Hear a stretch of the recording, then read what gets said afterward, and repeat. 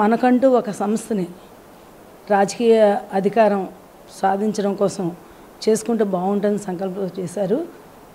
మరి భారతదేశానికి మనకు తెలుసు డెబ్బై ఐదు ఏళ్ళు స్వతంత్రం వచ్చినప్పుడు కూడా ఈరోజు ఈ దేశంలో ఉన్నటువంటి ఎనభై పర్సెంట్ మూలనివాసులు బహుజనులు ఎటువంటి అధికారానికి నోచుకోలేదు ఎటువంటి హక్కుల్ని తీసుకోలేకపోతున్నారు.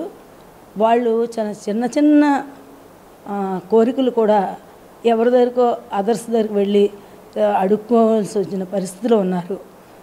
అడుక్కున్నప్పుడు కూడా మనకు సమస్యలు మనకు తీరట్లేదు కాబట్టి ఎవరో పదిహేను శాతం ఉన్నటువంటి అగ్రకులాల వాళ్ళు రాజ్యాధికారం చేపట్టారు. ఎనభై ఐదు శాతం ఉన్నటువంటి ఈ బహుజనులు రాజ్యాధికారం చేస్తేనే నిజమైనటువంటి స్వాతంత్ర ఫలాలు అందుతాయి.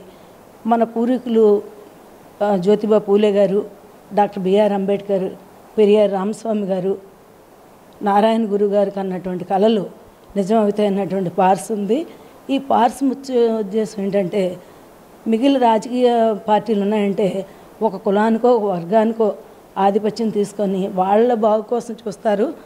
ఈ పార్స్ సమితి వచ్చిన తర్వాత మాత్రం ఏంటంటే మొత్తం భారతదేశంలో ఉన్నటువంటి ఎనభై శాతం ఉన్నటువంటి అన్ని కులాలకి ప్రాతినిధ్యం ఇచ్చి ప్రతి ఐదు లక్షల మంది ఉన్న ఒక వర్గానికి రాజకీయ అధికారం వల్ల సంకల్పంతో ముందుకొచ్చారు. అదేవిధంగా మహిళ అబల కాదు సబల అని నిరూపించడానికి ప్రతి సెగ్మెంట్లో ప్రతి రాజకీయ ఆరంగేటంలో రంగంలో యాభై పర్సెంట్ ఇవ్వడానికి కూడా ముందుకొచ్చింది పార్స్ కమిటీ.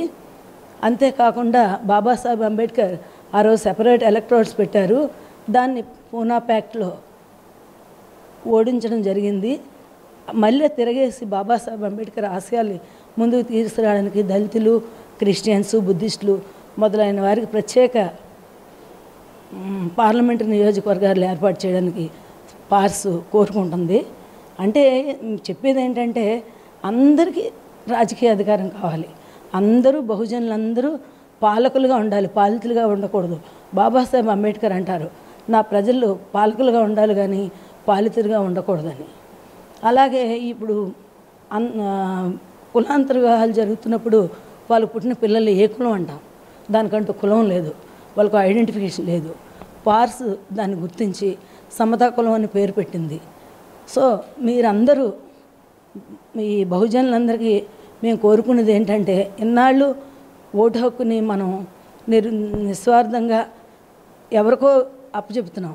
ఓటు హక్కు మన ఆయుధం మన హక్కు. కాబట్టి ఈ ఓటు హక్కుని ఎప్పుడైనా సరే ఎటు పోనివ్వకుండా మన బహుజనులే నిలబెట్టుకొని మన బహుజన రాజ్యాధికారాన్ని మనం పొందాలని కోరుకుంటున్నాను. జై భీమ్ జై Buddha. If you like this video please like it share it and for more videos please subscribe to our channel